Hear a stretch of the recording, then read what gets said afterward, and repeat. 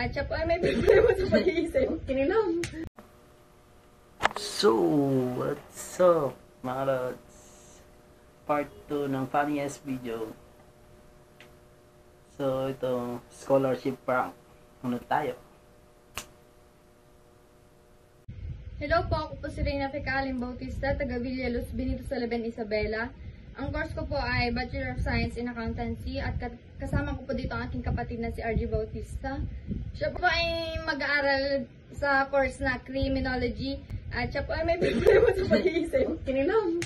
Ah! Kinilam.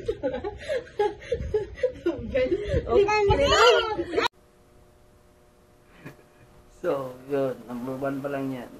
May 2 pa.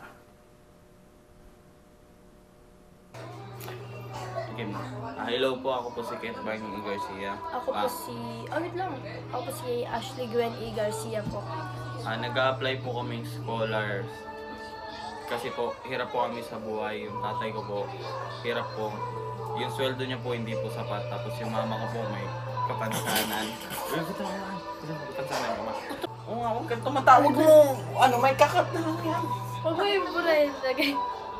Huwag na may kapansanan ka ma. Wag! Ayan, oh! Nag-anda! ano nga eh. Kakat na nga lang. Bigat ka. Albash!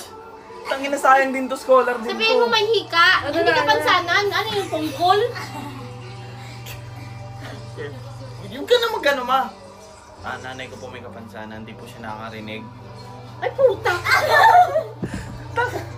May, kakat na lang yan! Kunwari nga, hearing aid. Ay, ay, niyan! Para may scholar talaga. putang ina, hindi pwedeng ganun.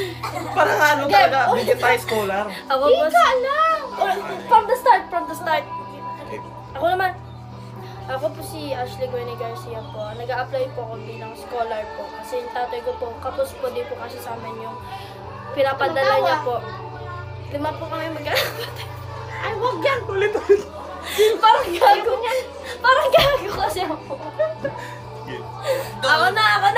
mag- Ako na, pa rin. seryoso. So, ngayon guys, hindi po nakakarinig yung mama.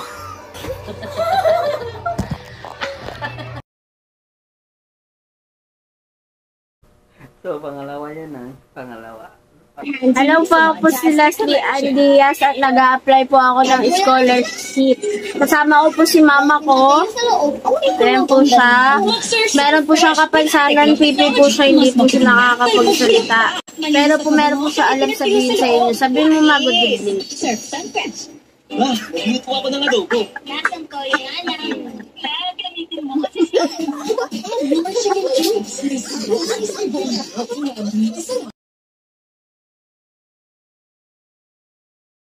Tatlo yan, pangatlo. So, kang tatlo lang muna mga lods. See you sa part 3.